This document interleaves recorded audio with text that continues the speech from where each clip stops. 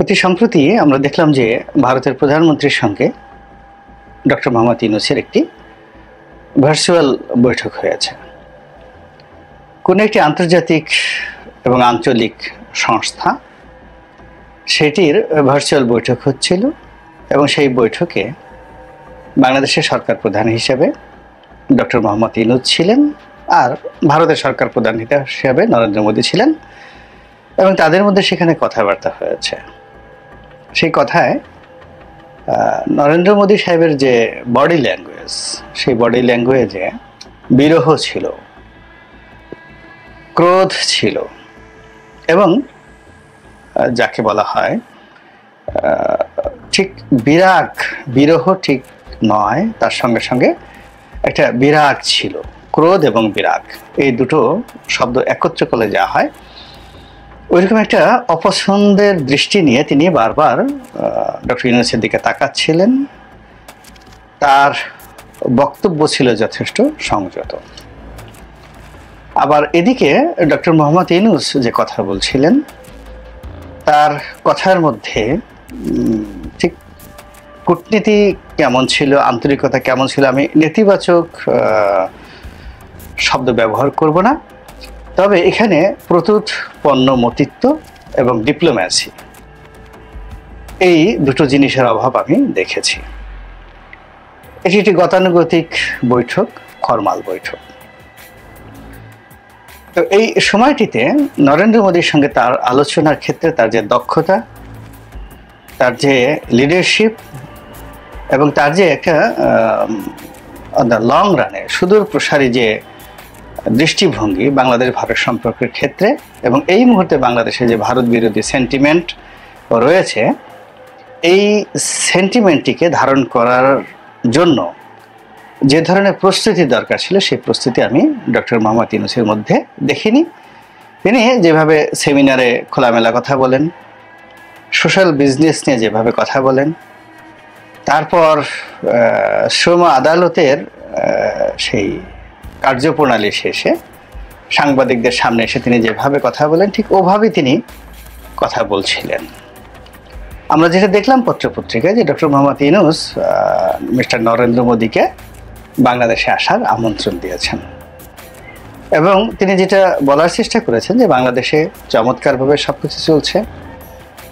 এখানে হিন্দুদের উপর কোনো নির্যাতন চলছে না। ভারতীয় মিডিয়াতে যে হিন্দু বিরোধী প্রচারণা চালানো হচ্ছে যার প্রেক্ষিতে দিল্লির কেন্দ্রীয় সরকার তাদের যে ক্রধান্বিত প্রতিক্রিয়া, এটি তারা প্রকাশ করছে। ভারত বাংলাদেশের ব্যাপারে যেন মাথা গলায়, নাক গলায় এবং মাথা ঘামায় এই ব্যাপারে ভারতীয় জনমত নরেন্দ্র মোদীকে উস্কে দিচ্ছে। কেউ কেউ সৈন্য পাঠানোর কথা বলছে, সীমান্তে রেড অ্যালার্ট তো এমনি জারি করা আছে। এই সমস্ত বিষয়গুলো নিউট্রাল করার জন্য নরেন্দ্র মোদী সাহেবকে বাংলাদেশ ভ্রমণের আহ্বান জানিয়েছেন ডক্টর মোহাম্মদ ইনু যেতে আপনি এসে দেখে যান, বাংলাদেশের সব কিছু আগের চাইতে ভালো চলছে। ভালো কথা। এখন এটার পরিণতি কি হতে পারে? প্রথমে আমরা ধরে নিই যে নরেন্দ্র মোদী বাংলাদেশে এলেন না। এবং তার যে অনুরোধ, ডক্টর ইউনুসের যে অনুরোধ, এই অনুরোধের জন্য রাষ্ট্রীয় প্রোটোকল অনুযায়ী তিনি ধন্যবাদ দিলেন না। লিখিতভাবে ধন্যবাদ দিলেন না যে আপনি আমাকে অনুরোধ করেছেন বাংলাদেশ ভ্রমণের জন্য। বিষয়টি আমি সম্মানের সাথে গ্রহণ করলাম এবং খুব দ্রুত আসব। এটা হলো একটা কূটনৈতিক শিষ্টাচার। এটি যদি নরেন্দ্র মোদীর পক্ষ থেকে করা না হয় আপনারা যারা আমার এই ভিডিও দেখেন এবং যারা সরকারি কর্মে নিযুক্ত রয়েছেন বা যাদের আত্মীয় স্বজন পররাষ্ট্র মন্ত্রণালয় রয়েছে, তারা একটু খোঁজ নিয়ে দেখবেন যে এই ধরনের কোনো চিঠি, প্রোটোকল বা ধন্যবাদ সংক্রান্ত কোনো চিঠি নরেন্দ্র মোদীর অফিস থেকে আমাদের পররাষ্ট্র মন্ত্রণালয় বা প্রধান উপদেষ্টার অফিসে এসেছে কিনা। যদি এসে থাকে, তাহলে ধরে নিতে হবে। যে ডক্টর মোহাম্মদ ইনুসের সঙ্গে একটা সম্পর্ক স্থাপনের জন্য ভারত রাজি। অতীতে যাই ছিল, তারা আসলে মুখে যাই বলুক না কেন, তারা আসলে ইউনুসের সঙ্গে একটি সম্পর্ক স্থাপন করতে চায়। যদি এমন হয়, আমি মনে করি ডক্টর ইউনুসের জন্য কপাল খুলে গেছে। তিনি বেশ কিছুদিন নিরাপদে, নিশ্চিন্তে রাজত্ব করতে পারবেন।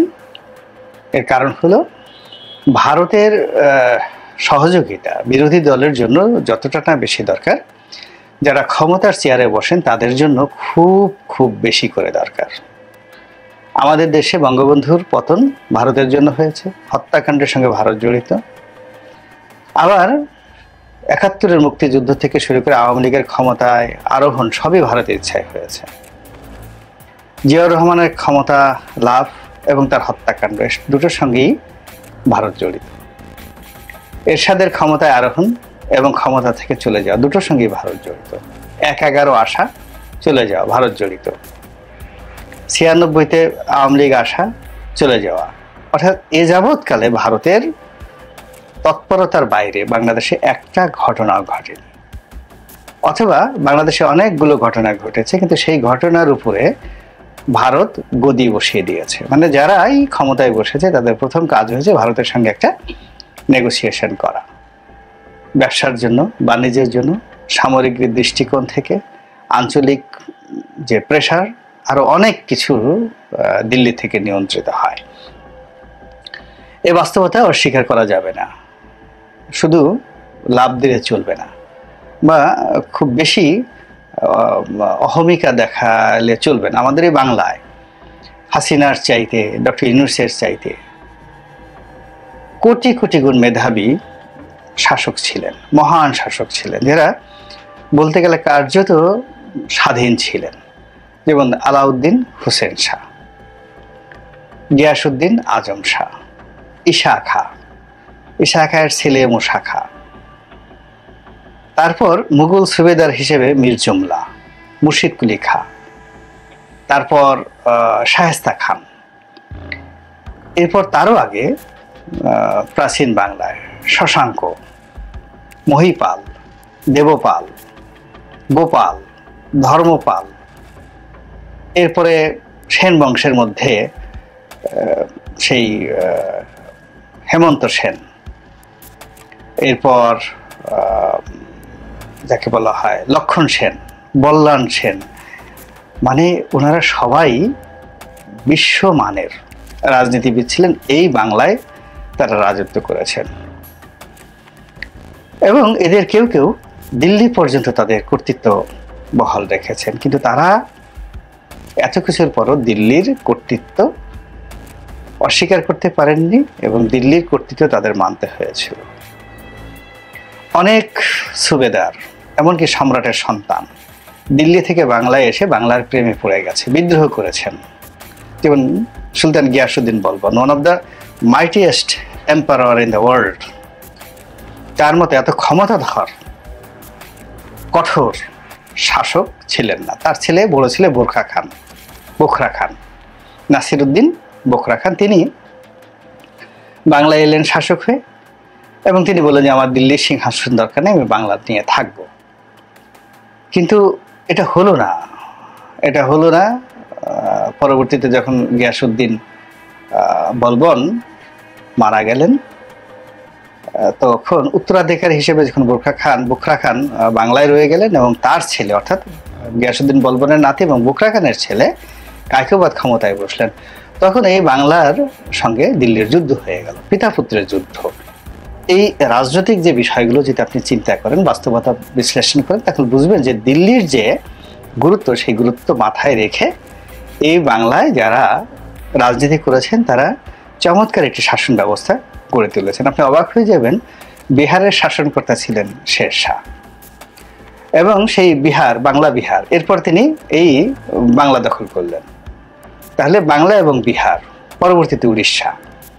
এখান থেকে কিন্তু শের শাহের রাজনীতি শুরু হলো এবং এখান থেকে তিনি দিল্লির বাসা হয়েছিলেন। কিন্তু দিল্লির বাসা হওয়ার পরেও তিনি এই বাংলাকে আলাদা সুযোগ দিতে পারেননি। দিল্লির পলিটিক্সটা এমন ছিল, এই বাংলা থেকে তাকে অন্য দিল্লিতে নিয়ে গেছে। তিনি ইচ্ছা করলে সোনারগাঁয়ে কিন্তু রাজধানী স্থাপন করতে পারতেন, কিন্তু তাকে করতে দেওয়া হয় নাই। তিনি দিল্লিতে বসেই চালিয়েছেন এবং দিল্লিতে চালানোর কারণে তাকে খুব অল্প বয়সে কিন্তু মরতে হয়েছিল। এই হলো বাংলার ইতিহাস। তো সেক্ষেত্রে ডক্টর মোহাম্মদ ইনুজ এই যে ঐতিহাসিক যে প্রেক্ষাপট, এই প্রেক্ষাপট বিবেচনা করে দিল্লির সঙ্গে সতর্কভাবে তাকে রাজনীতি বুঝে, কূটনীতি বুঝে, তারপর এগুতে হবে। তো যাই হোক, যেটা বলছিলাম, যদি এরকম পজিটিভ হয়ে থাকে, তাহলে তার জন্য ভালো। আর যদি নেতিবাচক হয়, তাহলে তাকে সবসময় একটা টেনশনে থাকতে হবে। আর যদি নরেন্দ্র মোদী অ্যাগ্রেসিভ হন মানে শেষের বার কিন্তু যখন তারা সিদ্ধান্ত নিল বঙ্গবন্ধুর যে জন্মশতবার্ষিকীর যে অনুষ্ঠানটিতে জোর করে নরেন্দ্র মোদী বাংলাদেশে এলেন। ওই সময়টাতে ইসলামপন্থীরা খুব খেপে গেল এবং এগারো বারো জন মানুষ রাজপথে কিন্তু নিহত হয়েছিল। এই নরেন্দ্র মোদীর আগমন উপলক্ষ করে এবং ওই ঘটনায় এই মামনুল হক সাহেবরা সদল বলে গ্রেপ্তার হয়েছিলেন। ওই সময় নরেন্দ্র মোদী যে বাংলাদেশে এসেছিলেন, মূলত আওয়ামী লীগের পতনের জন্য। শেখ হাসিনার পতনের জন্য। এবং নরেন্দ্র মোদী জানতেন যে এরকম ঘটনা ঘটবে এই জন্য তিনি এসেছিলেন। আর শেখ হাসিনা জানতেন যে নরেন্দ্র মোদী আসলে তার পতন হবে। এই জন্য যেন না আসে এই জন্য রাজপথকে তিনি উত্তপ্ত করে দিয়েছিলেন। এবং সরকারের বিভিন্ন গোয়েন্দা সংস্থা যেন এই রাজপথ উত্তপ্ত থাকে। নরেন্দ্র মোদী বিরোধী স্লোগানে উন্মত থাকে যেন নরেন্দ্র মোদী না আসে। কিন্তু নরেন্দ্র মোদী আসছে। এবং আসার পর যে ক্যাজুয়ালিটি হয়েছে, এটি সরকারের নিয়ন্ত্রণে ছিল না। সরি তো এটি সরকারের নিয়ন্ত্রণে ছিল না। এর ফলে যে হতাহত হয় এবং রাজনৈতিক যে শূন্যতা দেখা দেয় এবং দিল্লির সঙ্গে যে সম্পর্ক খারাপ হয়, তার পরিণতিতে এই আগস্ট মাসের পাঁচ তারিখে এসে শেখ হাসিনার জীবনে মহা সর্বনাশ হয়ে গেল। তো কাজেই অন গুড ফেইতে অন গুড ট্রাস্টে এই সকল ইতিহাস বিশ্লেষণ না করে ডক্টর ইনুজ যে আহ্বান দিয়ে জানিয়েছেন নরেন্দ্র মোদীকে এবং তিনি যদি দাদা দাদা বলে হাসতে হাসতে এই মুহূর্তে এয়ারপোর্টে আসেন, পুরো পরিস্থিতি ডক্টর মোহাম্মদ ইনুজের জন্য নিয়ন্ত্রণের বাইরে চলে যাবে। তিনি নায়ক থেকে ভিলেনে রূপান্তরিত হয়ে যাবেন। এবং জামাত থেকে শুরু করে সমস্ত ইসলামপন্থী, এমনকি বিএনপির লোক, জামাতের লোক, আওয়ামী লীগের লোক পর্যন্ত এই নরেন্দ্র মোদী বিরোধে স্লোগানে রাস্তায় নেমে আসবে। লক্ষ লক্ষ লোক আর একটা গণ অভ্যুত্থানের মতো পরিবেশ পরিস্থিতি তৈরি হয়ে যাবে।